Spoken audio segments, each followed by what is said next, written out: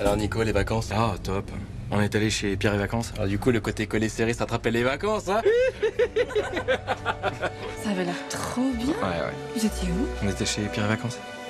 Ah ouais. Et Nico Bientôt la danse des tongs C'est ça.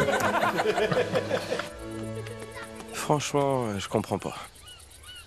Apparemment, nos résidences changent plus vite que notre image. Découvrez nos 52 résidences neuves ou rénovées sur pierreetvacances.com.